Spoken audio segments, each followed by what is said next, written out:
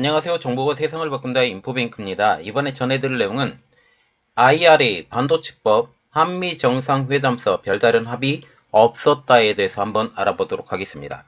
여러분의 구독, 좋아요, 그리고 필요하시면 알람 설정까지 부탁드리겠습니다. 미국에 다 퍼주면서 기대했던 한미 정상회담이 끝나가고 있습니다. 이번 정상회담에서 가장 관심이 가는 것은 바로 반도체 부분과 IRA. 그런데 이번 정상회담에서 이 부분에 대해서는 별다른 합의가 없었던 것처럼 보입니다. 자, 그래서 이번에 알아볼 내용은 IRA 반도체법 한미 정상회담서 별다른 합의 없었다입니다. 대한민국 행정부는 미국이 원하는 것을 거의 다 해소해 주었죠. 비난을 무릅쓰고 한일 간 국교 정상화를 했고 여러 가지 일, 특히 우크라이나에 포탄을 어, 보낸다라는 일까지 하려고 준비했었던 것입니다. 그런데 이러한 한국이 이번 한미 정상회담에서 약간 뒤통수를 맞았다라는 분위기가 나오고 있습니다. 물론 그 미국 기업들이 한국에 8조 원을 투자한다고는 하지만 한국 기업들이 미국에 100조 원에 가까운 투자 계획을 밝히고 있는 상황에서 아직까지 이것도 부족하다는 의견이 나오고 있습니다. 그리고 IRA와 칩스법에 대해서도 별다른 합의를 이루지 못한다라는 것으로 보이는 거죠. 양 정상은 26일 워싱턴 DC의 백악관에서 정상회담을 갖고 한미동맹 70주년 미국 정상 공동 성명을 채택했습니다. 성명에서는 IRA와 반도체법에 관련된 언급이 있었으나 우리 기업들이 원하는 수준의 합의는 보지 못한 것처럼 보입니다. 앞서 미국 IRA나 반도체법으로 인해 우리 기업들이 피해를 본다라는 지적이 많았었죠. 이 때문에 이번 정상회담을 통해 구체적인 해법이 필요하다는 요구가 본물처럼 이루었습니다. 그런데 이번 성, 성명은 우리가 원하는 수준까지는 달성되지 못한 것이죠. 한마디로 아예 손도 못 댄 것처럼 보입니다. 성명에는 양 정상은 IRA와 반도체 과학법에 관한 한국 기업들의 우려를 완화시키기 위해 한미 양국이 기울여온 최근의 노력을 평가한다. 양 정상은 동법이 기업 활동에 있어 예측 가능성 있는 여건을 조성함으로써 상호 호혜적인 미국 내 기업 투자를 독려하도록 보정하기 위하여 긴밀한 협의를 계속해 나가기로 약속했다고만 명시되어 있는 것입니다. 공동 기자회견에서 이와 관련된 질문도 나왔었는데요. 가장 먼저 질문자로 나선 LA타임즈 기자는 바이든 대통령에게 중국과 경쟁하는 미국 제조업을 일으키는 것이 최우선 경제 현안인데 중국이 반도체 제조를 확대하는 것을 막는 당신의 정책, 그 IRA 등이 중국에 크게 의존하는 한국 기업들에게 피해를 주고 있다. 선거를 앞두고 국내 정체를 위한 중국과의 경쟁에서 핵심 동맹국에 피해를 주는 것이 아니냐고 지적을 했습니다. 바이든 대통령은 자신의 정책이 중국에 피해를 주기라고 설명, 어, 설계한 것이 아니다라고 하면서 우리는 반도체에 대한 공급을 안정시키기 위하여 그렇게 한 것이라고 강조를 했습니다. 자신의 정책은 바로 미국의 경제 성장을 위한 것이라는 의미입니다. 결국 자국 국수주의라고 보시면 되는 것이죠. 그러면서 우리는 첨단 반도체를 만들고 있는데 무기 시스템에 들어가는 첨단 반도체는 중국뿐 아니라 다른 국가에도 수출하지 않을 것이라고 덧붙였습니다. 이어서 지난 30년 동안 공장들이 폐쇄됐지만 이제는 반도체를 되살림으로써 미국 전역에서 많은 일자리가 만들어지게 될 것이라고 하면서 이를 통하여 많은 경제 성장이 이루어질 것이며 이, 이 투자를 통하여 한국 내에서도 일자리가 만들어질 것이라는 게 서로, 겨, 서로 간의 윈윈이라고 생각한다라고 말을 했습니다. 윤 대통령도 질의응답 과정에서 지금 한미 간의 기술 협력, 첨단 산업의 협력 강화는 먼저 우리 기업의 경쟁력을 키울 것이라고 언급한 것입니다. 최상목 경제수석은 이날 브리핑을 통해 미국의 IRA, 반도체 과학법, 반도체 수출 통제 등의 이행 과정에서 예측 가능성을 확보하고 상호 호의적인 입장에서 긴밀한 협의를 계속하기로 했다라고 하면서 바이든 대통령은 한국 기업들의 투자와 사업 활동에 특별한 지원과 배려를 아끼지 않을 것이라고 했다고 설명을 했습니다. 자, 여기서 바이든 대통령이 한국 기업들의 투자와 사업 활동, 이것은 바로 미국에 대한 투자와 사업 활동이라는 것이죠. 이어서 IR의 경우 아직 북미 최종 조립 요건을 충족하기 어려운 우리 기업들 위해 렌트, 리스 등 상용차에 대한 북미 최종 조립 예외를 확보했다라고 했습니다. 이는 지금 현재 미국 입장을 그대로 반영하는 것들을 한국의 당국자들이 이야기한다라는 것입니다. 현대차의 미국 내 전기차 판매 중 상용차 비중이 크게 증가할 것이며 세액 공제 대상 차량이 축소되면서 경쟁에서 불리하지 않다고도 했습니다.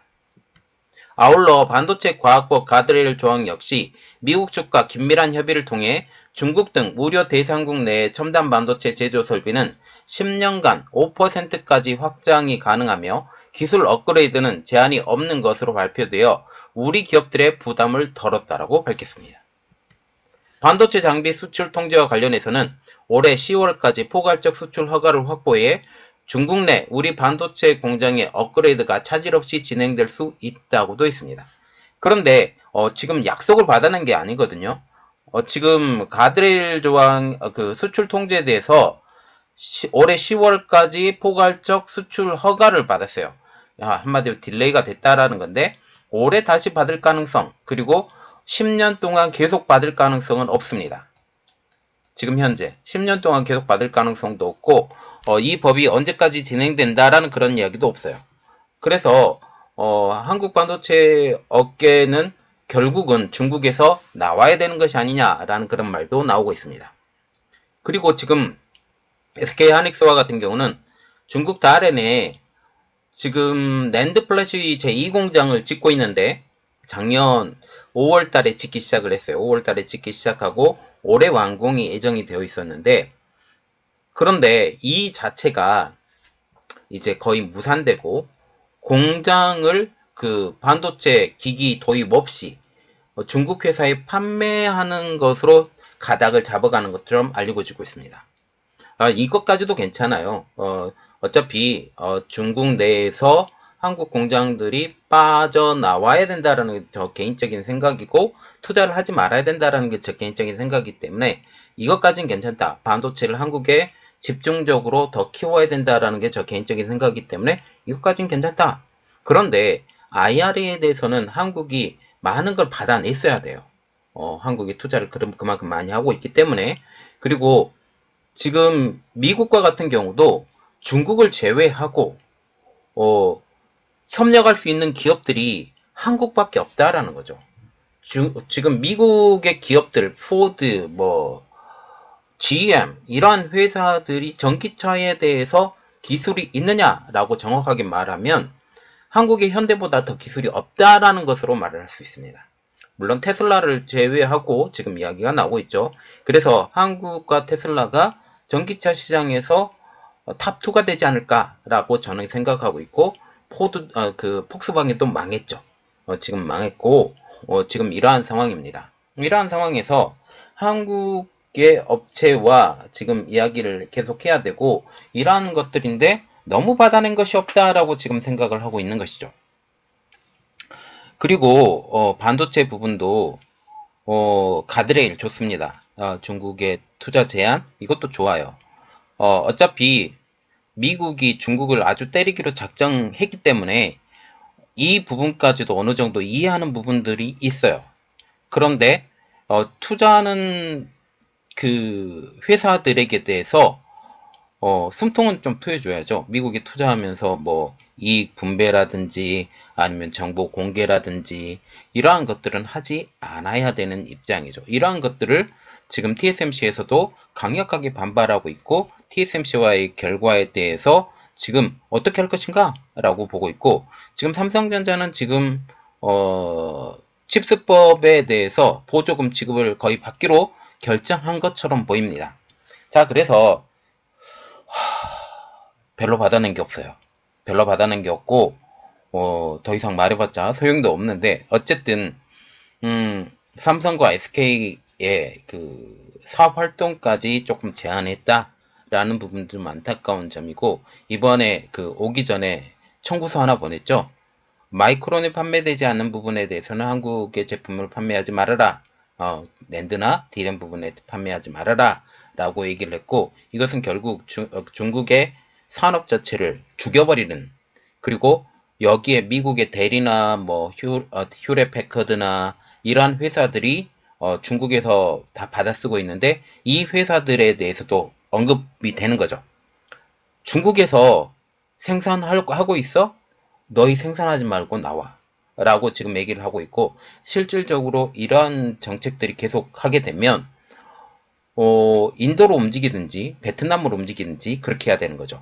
그리고 마이크론과 같은 경우는 후공정 그래서 패키징이나 어, 그리고 테스트와 같은 경우는 인도의 공장을 짓기로 했던 지금 그 이야기들도 나오고 있는 상황입니다. 자, 지금 어떻게 상황이 급변하고 있는데 한국이 이번 정상회담에서 제가 원했던 수준만큼 많이 받아내지 못했다. 한국이 지금 미국에 많이 투자를 하는데 이것에 대한 그 허들을 낮춰줘야 되고 투자를 더 해줘야 되고 그 반대급부로 미국에서도 한국에 굉장한 투자를 해줘야 된다라는 게 제 개인적인 생각이죠. 그렇게 되지 못해서 좀 안타깝고 또 어, 지금 8조 100조 이야기 나오고 있죠. 그 이야기도 제가 또 어, 분석해서 여러분들에게 알려드리도록 하겠습니다. 이번 내용은 여기까지 하겠습니다. 저희 내용이 여러분들에게 도움이 됐다고 생각을 하시면 구독, 좋아요, 그리고 필요하시면 알람 설정까지 부탁드리겠습니다. 감사합니다.